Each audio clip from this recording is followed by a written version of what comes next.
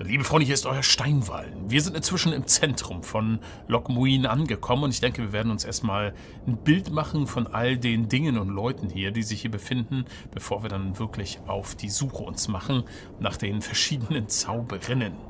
So, hinter uns, äh, von wo sind wir nochmal gekommen? Wir sind von hier gekommen, wenn ich mich recht entsinne. Jawohl. Hast du noch irgendwas Der zu erzählen? Held von Wösima. Meine Verehrung.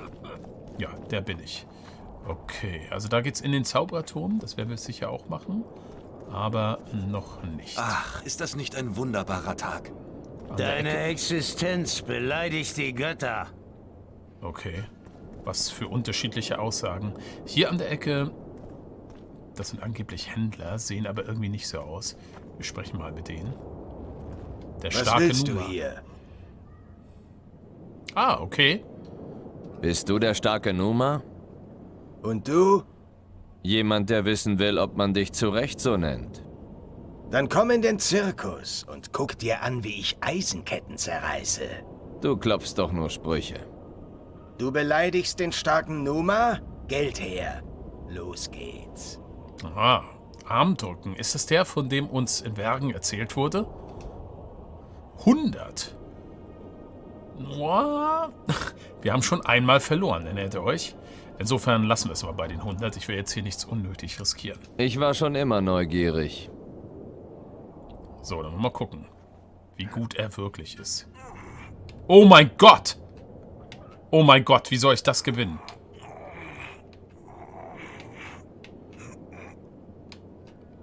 Okay, wow. Das... Das sehe ich nicht. Es heißt immer, Hexer wären kräftig. Aber im Zirkus könntest du höchstens dem Clown in den Hintern treten. ja, das glaube ich auch.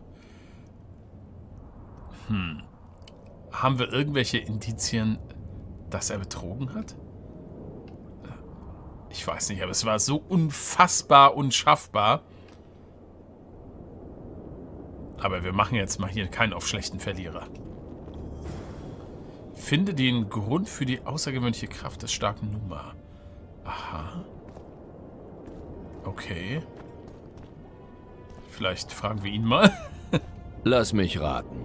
Das ist der starke Numa und ich bin sein Schüler. Jetzt hast du mir den Spaß verdorben. Der starke Numa bricht Stieren den Hals, verbiegt Eisenstäbe und besiegt jeden. Numa. Sein Geheimnis sind Pilze und Kräuter aus Elander. Sie werden in der Morgendämmerung von jungfräulichen Priesterinnen gesammelt. Ja. Du kriegst sie jetzt zu einem sehr anständigen Preis. Aha, das ist also das Geschäftsmodell. Irgendwas stimmt da nicht, ne? Okay, also man kann hier irgendwie Zeug kaufen. Hier gibt's Grünschimmel. Ich fasse es nicht. Danach habe ich ewig gesucht. Und hier gibt es das. Aber die Frage ist, gibt es noch eine Magierin, die uns da helfen kann? Philippa scheint ja jetzt unpässlich zu sein und Triss auch irgendwie. Aber sicherheitshalber kaufe ich das Ganze mal. Ich kaufe gleich zwei. Man weiß nie. Hat er möglicherweise... Was gibt's denn hier noch? Brandung, Öl. Ja gut, das Übliche. Ähm, aber hat er möglicherweise... Und hier gibt's auch Wolfsaloe. Ich kann es nicht glauben. Na gut, jetzt haben wir alles, um das zu entfernen. Jetzt fehlt nur noch jemand, der das kann. Ja, aber wie kriegen wir raus, warum der Typ so stark ist? Wir könnten natürlich nochmal verlieren und ihn provozieren und zu sagen, dass er betrügt. Was willst du hier? Ich würde gern ein paar Oreins verdienen. Beim starken Numa kannst du eher welche loswerden. Du bist ein Dieb? Ich schlage im Armdrücken jeden. Kostprobe gefällig? Investieren wir jetzt mal 100 Gold, um das auszuprobieren? Oder vielleicht, ah, ich würde mal sagen, wir behalten uns das nochmal vor. Wir gehen erstmal durch die Stadt und vielleicht treffen wir noch jemanden, der ein uns dazu, andermal. dazu irgendwas verrät. Dass das nicht mit rechten Dingen zugeht, das habe ich gleich gemerkt. so gut konnte er gar nicht sein. So. Wir gucken hier mal rein. Oh, verdammt. Äh, Hey, pass doch was ist denn hier los? Shit, falsches Schwert. Verabschiede dich vom Leben. Ich wollte hier eigentlich... Okay, man muss hier ein bisschen aufpassen, weil das sind offenbar die... Aha, die Unterkünfte der einzelnen Fraktionen, so wie es aussieht. Das war aber jetzt nicht mein Ansinnen. Ja, vielleicht sollte man hier anders verfahren, was die Häuser betrifft. Das scheint mir doch hier alles ein bisschen gefährlicher zu sein. So, die Katze ist ja putzig, die lassen wir mal leben. Geht sie hinten noch irgendwo weiter? Ja, möglicherweise... Nee, Art wird hier nicht helfen. Hier kommt man vielleicht weiter, aber ich... Ah, okay, da kommt man möglicherweise in diesen gesamten anderen Bereich rein. Und das ist quasi der Eingang oder Ausgang zur Stadt. Pass mal auf, wir durchsuchen nochmal, wir gucken mal, was wir hier noch vielleicht Interessantes finden. Vielleicht irgendwelche spannenden Hinweise. Ansonsten nur billige Schwerter. Was ist da in den Truhen drin? Gar nichts. Die sind nur zur Zierde. Ja gut, dann hat das jetzt hier zwei mehr oder minder unschuldige Opfer getroffen. Hm, okay, also... Aber, ah, wisst ihr was? Natürlich, hier war ja auch eine Flagge dran. Das hätte ich mir ja auch gleich denken können. Alles klar. Und hier unten, da ist auch eine Flagge.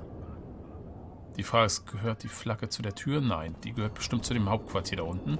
Dann gehe ich da jetzt nicht rein. So, wen haben wir denn hier? Ah, der unglaubliche Lockhart. Na. Na, wie sieht's aus? Du bist entweder unaufmerksam oder ungehobelt. Ich dachte, ich könnte Freunde aus früheren Tagen treffen, mit ihnen reden, in Erinnerungen schwelgen, aber alle wenden sich von mir ab. Ich bin Luft für sie. Zauberer sind nicht unbedingt für ihre Höflichkeit berühmt. Wem sagst du das? Sie haben mich unter fadenscheinigsten Vorwänden aus Banart geworfen. Vermutlich habe ich zu oft gegen den Rektor gewonnen.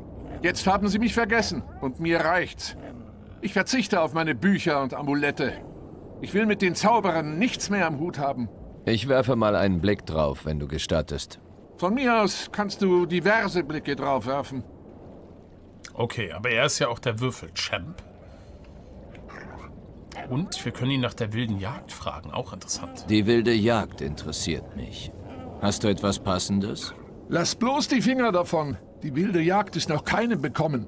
Ich muss aber erfahren, weshalb die Geisterreiter Menschen entführen und was sie mit ihnen machen.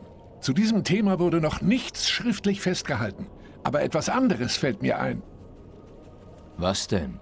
Im Untergrund von Loch Muin gibt es wohl ein Schwert, das mal einem Elfen aus einer Parallelwelt gehörte. Und das ist noch da? Es ist gut versteckt. Ein paar Magier suchen es nach wie vor.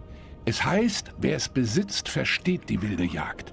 Was immer davon zu halten ist. Mhm. Spannend.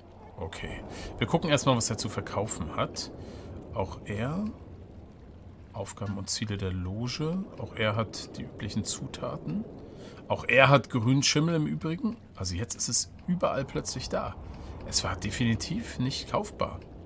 Er hat Runen, aber die können wir inzwischen selbst herstellen. Ja, alles Mögliche. Gut ausgerüstet, ausgestattet. Äh, sogar er hat Wolfs-Aloe. Ich fasse es nicht. Na gut. Das ist weniger spannend, aber wir wollen den Würfelkampf nicht vergessen. Ich habe Lust auf ein Würfelspiel. Spielen wir? So, er ist jetzt der absolute Champ. Mal gucken, wie viele Versuche ich benötige. Okay, wir sind kurz vor der Straße, während er schon einen Dreier hat. Das heißt, wir gehen mal volles Risiko und versuchen mit der 1 eine 2 zu würfeln. Das brauchen wir jetzt.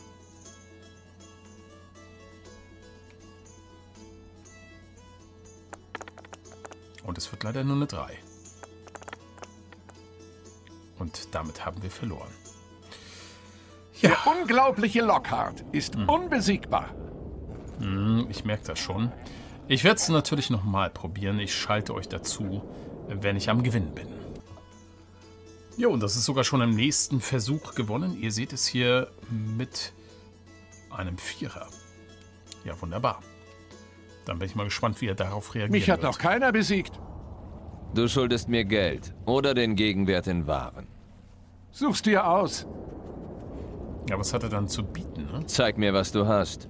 Ich kann dir Runen für Schwertaufwertung geben, eine Aufwertung für die Rüstung oder ein Schema aus meiner Sammlung. Hm, Ich würde sagen, wir nehmen eine Rüstungsaufwertung. Weil Runen können wir selber herstellen, Aufwertungen eher nicht.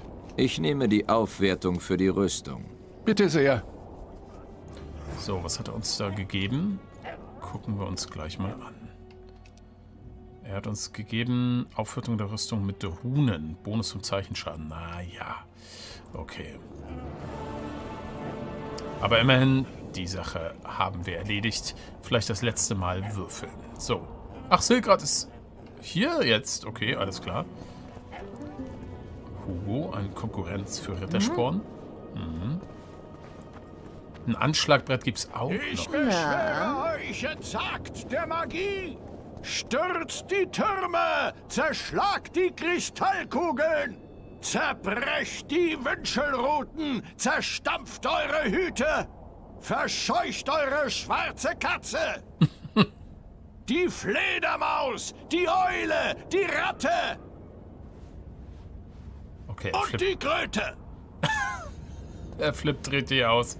Können wir ihn ansprechen? Nein, können wir nicht. Sie konnte man ansprechen. Fick dich selbst, Kreatur. Okay. Das hatte ich mir anders vorgestellt. Was ist mit den Herrschaften hier? Der Hex. Ich will mit dir nichts zu tun haben. Grüß dich. Okay, das sind alles Magier, interessanterweise. Ich bin Gerald. Bras von Banart. Ich kenne dich noch aus Tannet. Hatte ich auch in Ochsenfurt gesehen. Offenbar begegnen wir uns nur auf elfischem Boden. Vielleicht. Aber dich führt sicher nicht das Verlangen her, mit mir über Elfenruinen zu reden. Ich brauche eine Waffe. Das. Das bezieht sich möglicherweise auf das Schwert, von dem wir gehört haben. Eigentlich wende ich mich an dich als Waffenkundigen. Ich bin kein Fachmann. Du bist der beste Schwertschmied unter den Zauberern. Oh, Dabei interessieren mich eher die materiellen Kulturschätze anderer Rassen. Ich brauche einen soliden materiellen Kulturschatz. Für meine Faust. Ich kann mir denken, dass es da zwingende Umstände gibt. okay. Gut. Mal sehen. Was wir tatsächlich benötigen, ist ein deutlich besseres Silberschwert. Das ist unsere größte Schwäche. Aber erstmal fragen wir auch hier noch nach der wilden Jagd. Ich interessiere mich für die wilde Jagd. Sie ist ja neugierig. Kannst du mir helfen? Jagen gehört nicht zu meinen Steckenpferden. Danke. Er weiß nichts. So, dann gucken wir mal, was wir bei ihm zu kaufen bekommen. Also, beziehungsweise wir sollten erstmal selber verkaufen. Und zwar, ach, dieses schöne Gewie hier. Es tut so weh, das zu verkaufen müssen wir wahrscheinlich auch nicht. Ich werde erstmal das hier alles verkaufen. So, das haben wir ja auch abgelegt. Das heißt, das kann alles weg. Selbst Seltkirks Rüstung kann weg. Okay, das ist aber ein Questgegenstand. Gut, danke, dass du mir das nochmal sagst. Die Harpienfallen brauchen wir eigentlich auch nicht, aber die bringen uns auch nichts ein. Und der Rest ist auch erstmal egal. Außer natürlich Gerümpel. Das kann sofort weg. So, jetzt auf die andere Seite. Was hat er denn hier? Ach, das haben wir ihm natürlich jetzt alles verkauft. Toll. Stahlschwerte hat er. 35 bis 40. Das ist ja fett. Novigrader Schwert 1500. 39 bis 43. Mit zwei Slots. Nicht übel. Könnten wir uns sogar leisten. Hm. Kovierschwert. Aber da gefällt mir das noch ein bisschen besser. Okay, kann man sich merken. Das ist das, was wir ihm verkauft haben. Dann hat auch er eine Vran-Aufwertung. Okay, interessant. Und was hat er denn noch für Schemata? Aha, das sind die Bla Das wären jetzt gute Silberschwerte, exzellente Silberschwerte. Die könnten wir auch sofort herstellen, wenn ich das richtig sehe. Und was ist das? Serikantament? Was ist das für ein Schwert? Das ist auch ein Silberschwert. Okay, das ist ja nochmal deutlich besser. Was brauchen wir dafür? Diamantstaub haben wir. Drachenschuppen. Okay. Da, das ist auch so ein bisschen so eine Sache, ne? Man ahnt schon, bei den Zutaten, gegen welche Monster man noch kämpfen wird. Das Spiel spoilert sich hier selbst. Und wenn wir an einen Drachen denken, ahnen wir vielleicht auch schon, was für ein Kampf es werden wird. Ach Gottchen. So, okay, dann werde ich erstmal das andere herstellen. Ich gucke bloß, was ich haben will. Schaden gegen diverse Monster, Bonus zum Zeichenschaden interessiert mich eher nicht. Das ist ganz gut. Adrenalinzunahme bei Treffern finde ich gut. Und das bringt Chance auf sofortige Tötung plus 2%. Finde ich nicht so doll. Dann nehmen wir dieses hier mit gelbem Meteorit. Wir brauchen Diamantstaub, Amethyststaub, Eisenerz, Silbererz. 14 mal Silbererz. Okay, das ist ein Problem. Das heißt, wir brauchen 7 mal Silbererz noch. Aber ich denke, das Schema können wir schon mal einkaufen. Hat er denn Silbererz? Ja, viermal. Das reicht aber noch nicht. Da werde ich jetzt mal alle vier kaufen. Und wir brauchen dann weitere Handwerker, die uns irgendwas verkaufen. Können wir aber auch noch das andere fragen? Nee. Okay, alles klar. Na gut. Pass auf dich auf. Mache ich. Was Ja, glotzt du denn so? Ich bin dem Gestank gefolgt und dachte, es wäre scheiße. Aber es sind ja redanische Hunde. Was? Du Bastard! Brauchst wohl ein paar redanische Hundebisse! Auf ihn! Okay. Das ging ja schnell. Ah, ah.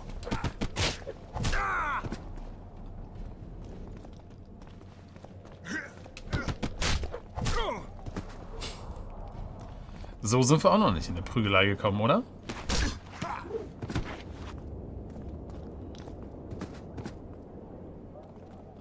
Was ist hier los? Ruhe!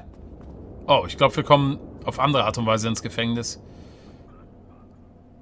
Nichts von Bedeutung. Ein kleiner Zank. Den ich als Angriff auf einen Vertreter des Königreichs Redanien verstehen könnte. Verdammt. Könntest du. Und was würdest du dann tun? In den Kerker mit dir. Da kühlst du ein bisschen ab, dann sehen wir weiter. Für diese kleine Schubserei soll ich das Verlies mit Philippa Eilhart teilen? Na, Unmenschen sind wir nicht. Eine kleine Spende an den Orden und dein Ehrenwort, dass sich das nicht wiederholt? Bußgeld und Ehrenwort oder Kerker und Zauberin. Hm. So ist es. Hör zu, Herr Ritter. Entweder du verhaftest mich jetzt oder ich breche hier einen Krawall vom Zaun, gegen den die Schlacht von Brenner wie eine Rangelei wirkt. In Ketten legen den Irren. Ab ins Verlies. Okay, gut, dann ist es so. Eigentlich habe ich es anders geplant. Aber nun Du? treffen Hier? wir auf diese Art und Weise auf Philippa. Ja, Philippa, ich hier. Ah, okay, wir können uns bewegen. Ganz kurz mal. Ach, wir können nicht die Umgebung prüfen. Weil wir nicht an unser Amulett kommen. Alles klar, dann sprechen wir mit ihr. Was tust du hier? Es ist gar nicht so leicht, Philippa Eilhart in Fesseln sehen zu können. Mal sehen, ob du neben mir auf dem Schafott auch noch so ein Großmaul bist. Im Gegensatz zu dir habe ich nichts getan, wofür sie mich aufs Schafott schicken könnten. Für sie bist du ein Königsmörder. Ich versichere dir, Radowitz Henker sorgen dafür, dass du dich zu allem bekennst. Sogar zum Sex mit Trollen.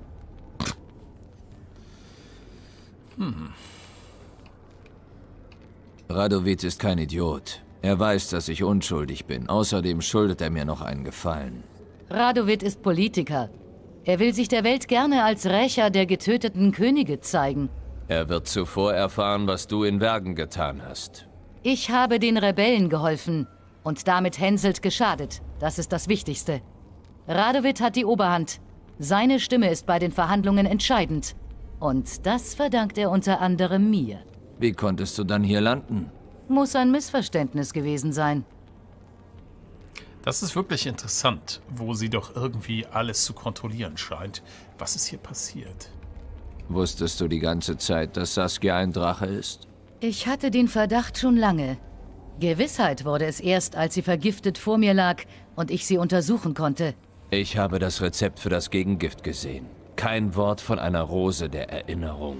Tja, treue Verbündete sind wertvoll und die Rose der Erinnerung hat große Macht.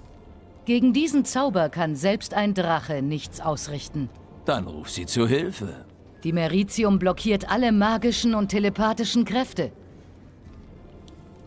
Da kommt jemand. Eure Majestät. Lange Radowit. habe ich darauf gewartet. Du hast Redanien so plötzlich verlassen, dass ich dich nicht gebührend verabschieden konnte. Majestät, ich begreife nicht, warum ihr mich habt einkerkern lassen. Was ich tat, diente Redanien. Ich habe die Rebellen unterstützt und Henselt geschwächt. Ich habe für euch meinen guten Namen riskiert. Ich bin kein kleiner Junge mehr, der dir jedes Wort glaubt.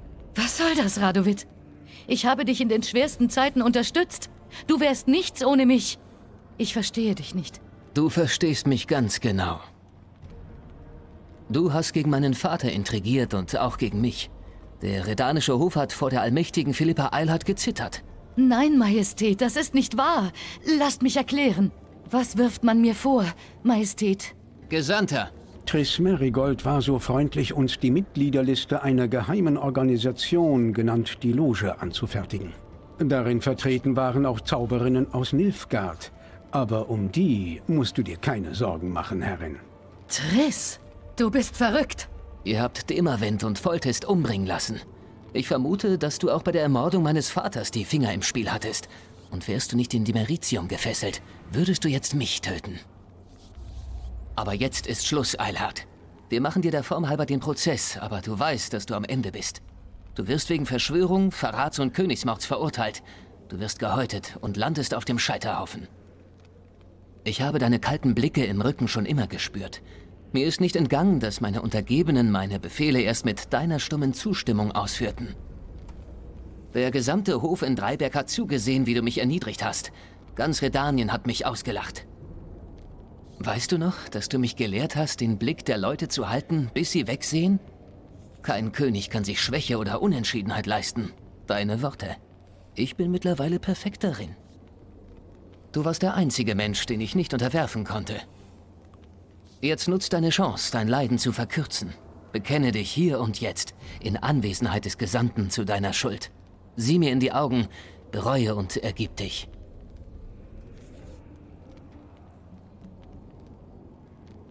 Wie du willst. Henker, stich ihr die Augen aus. Ihr macht einen großen Fehler, König. Oh mein Gott! Ernsthaft? Oh wow.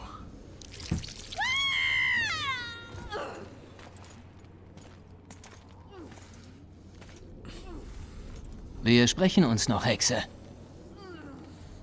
Ach du Schreck. Ich wollte es nicht glauben, als man mir sagte, Gerald von Riva säße in meinem Kerker.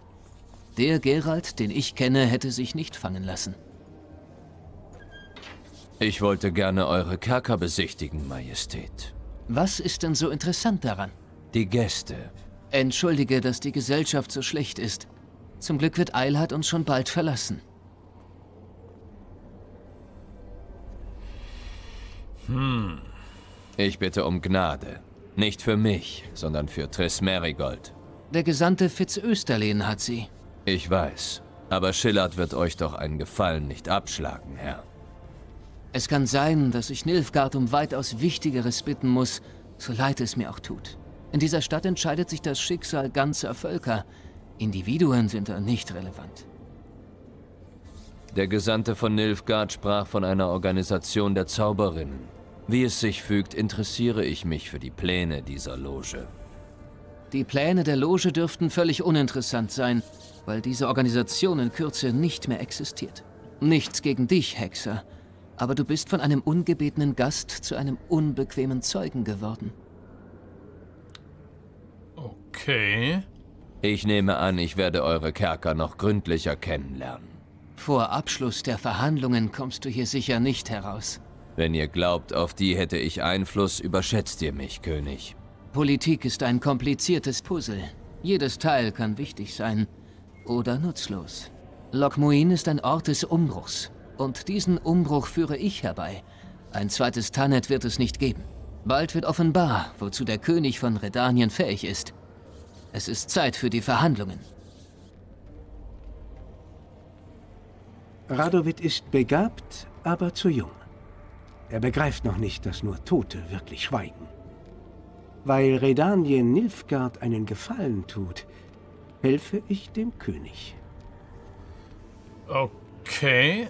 Will er uns jetzt umbringen? Lass Triss frei. Da müsste ich dumm sein. Wenn es einen Ort gibt, an den wir uns nach diesem irdischen Jammertal begeben, trefft ihr euch dort bald.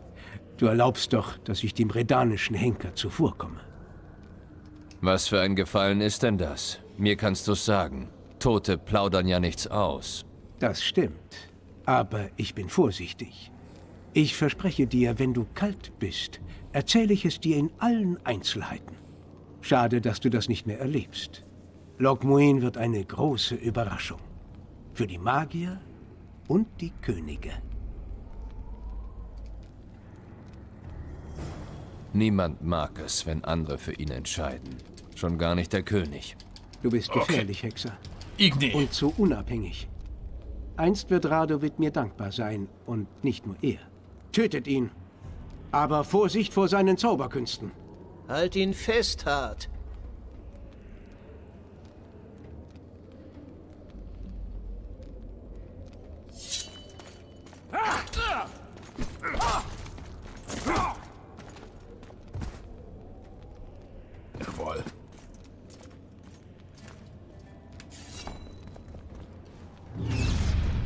Das können wir doch. Ohne Bring Rüstung. mich hier raus! Zuerst beantwortest du mir ein paar Fragen. Puh, okay. Hm. Ist das wahr, was Schillard gesagt hat? Über die Loge und die Königsmörder? Schillard hat gesagt, was Radovid hören wollte. Halbwahrheiten ohne Zusammenhang. Praktisch hat er gelogen. War Triss daran beteiligt? In der Hinsicht ist sie unschuldig. Allerdings war sie dir gegenüber in vielen Dingen unaufrichtig. Das kannst du mir glauben. Und wozu das Ganze? Welches Interesse habt ihr daran, Könige umzubringen? Hilf mir hier raus. Dann erkläre ich dir alles und helfe dir, Saskia zu entzaubern. Nimm mir die Fesseln ab und bring mich in mein Quartier. Ich flehe dich an. Ich sage dir alles. Alles! Tja, also, das ist ja wirklich. Also, erstens ist die Frage, ist die gesamte Loge verantwortlich für diese Königsmorde oder war das eine Einzelaktion von Sheila? Das ist noch unklar. Interessanterweise ist Radovid ja auf der richtigen Spur. Insofern kann man ihm das gar nicht verübeln. Die Frage ist, ob er recht hat, dass er sich gegen die gesamte Loge wendet oder ob er da zu weit geht. Wir fragen noch mal ein bisschen. Ich war nicht allein hinter dir her. Jorvet kann es kaum erwarten, dir zu begegnen. Mein Tod wird wenig ändern. Jorvet und seinesgleichen haben kein Recht, andere zu verurteilen. Wie wirkt dein Zauber? Saskia kann sich meinem Willen nicht entziehen. Aber keine Sorge, sie leidet nicht darunter.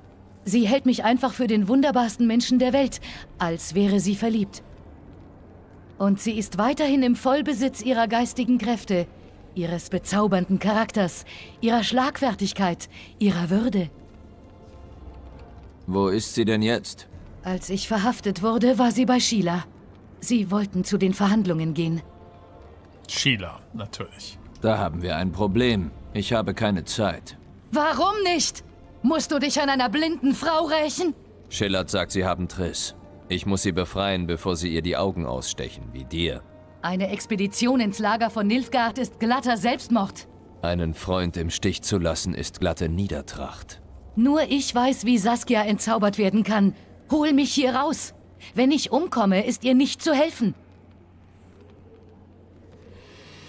Hm.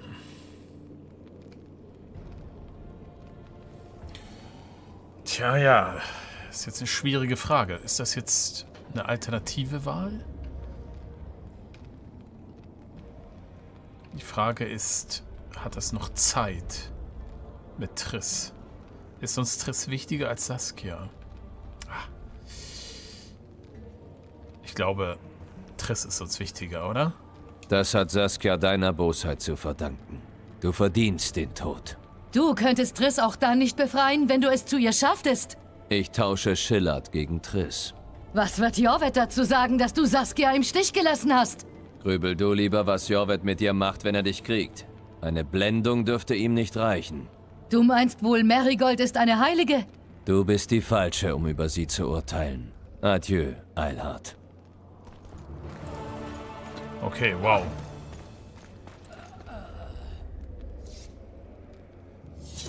Zack, zack, Gesandter. Das ist doch absurd. Was willst du eigentlich? Triss treffen. Wie bist du hier reingekommen? Leg das Schwert weg. Erst wenn ich dir die Kehle durchgeschnitten habe. Es liegt bei dir. Es gibt da einen Tunnel. Dann für mich. Okay, krass.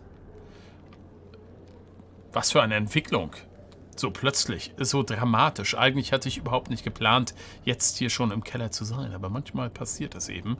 Und ja, das war jetzt wirklich eine schwierige Entscheidung. Aber Philippa und Saskia, ich glaube, sind uns wirklich nicht so viel wert. Zumal wir die gesamten Zusammenhänge ja immer noch nicht verstehen und deswegen die Abwägung auch sehr, sehr schwierig ist. Nun ist es entschieden, wir versuchen jetzt hier Triss erst einmal frei zu pressen. Ich bin gespannt, ob das klappen wird. Wir sehen uns wieder in der nächsten Folge. Bis dahin macht's gut. Euer Steinwall.